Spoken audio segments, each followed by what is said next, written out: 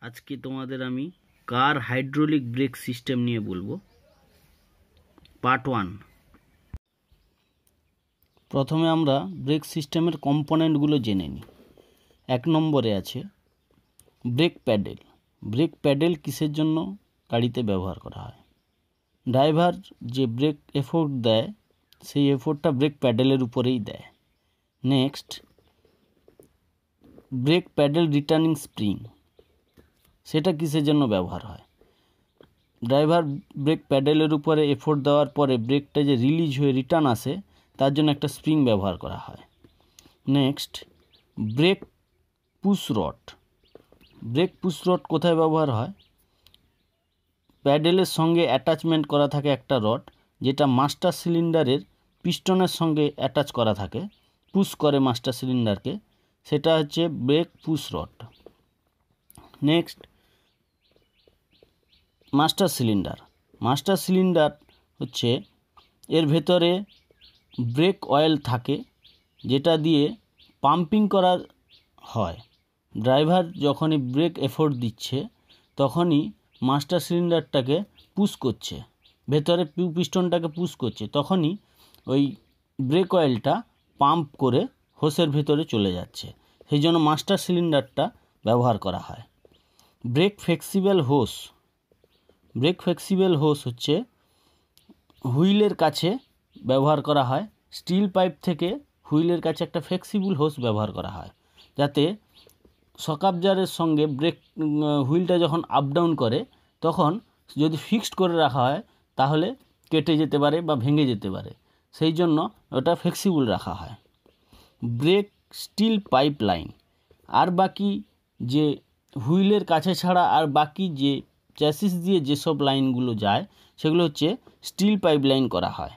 Next parking brake cable parking ব্রেকের জন্য একটা আলাদা কেবিল যেটা হ্যান্ড ব্রেক থেকে পার্কিং ব্রেক থেকে একটাই কেবিল চারটে হুইলে বা দুটো হুইলে ডাইরেক্ট যায়, সেটা হচ্ছে parking brake cable hand brake lever বা পার্কিং ব্রেক লিভার যেটা ড্রাইভারের ডান দিকেও থাকে, নাহলে বাঁ দিকে থাকে, যে একটা পার্কিং ব্রেক, সেইটা, সেই লিভারটাকে বলা হয় যেটা ধরে ড্রাইভার ব্যবহার করে, সেইটাকে বলা হয় parking brake lever stop light switch.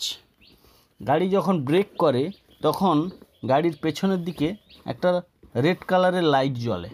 সেই লাইটটার জন্য যে সুইচটা ব্যবহার হয়, সেটাকে বলা হয় স্টপ লাইট সুইচ। তারপরে আছে ব্রেক শু ব্রেক শুর আগে বলি যে প্লেটটার উপরে brake shoe wheel cylinder, brake lining, spring, brake adjuster, wheel cylinder সমস্ত বসানো থাকে।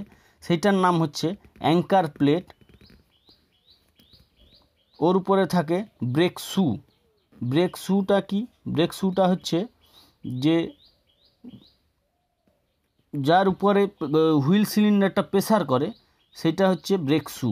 ব্রেক লাইনিং যে অ্যাডবেস্টসের তৈরি হয়, যেটা ব্রেক ড্রামের সঙ্গে অ্যাটাচ হয়ে যায়, ব্রেক এফোর্ডের সময়, সেটাকে বলা হয় brake lining.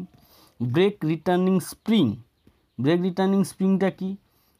ড্রাইভার এফোর্ট দিল, ব্রেক অয়েল প্রেসার করল হুইল সিলিন্ডারকে, হুইল সিলিন্ডার প্রেসার করল ব্রেক শ্যুকে তারপরে শ্যুটা ড্রাইভার ছেড়ে দেওয়ার সঙ্গে সঙ্গে যে রিটার্নটা করে শ্যুটা সেটা হচ্ছে ব্রেক শ্যু রিটার্নিং স্প্রিং তারপরে আছে কি ব্রেক অ্যাডজাস্টার সিলিন্ডার ড্রাম এবং ব্রেক শ্যুর মধ্যে একটা অ্যাডজাস্ট করতে হয়।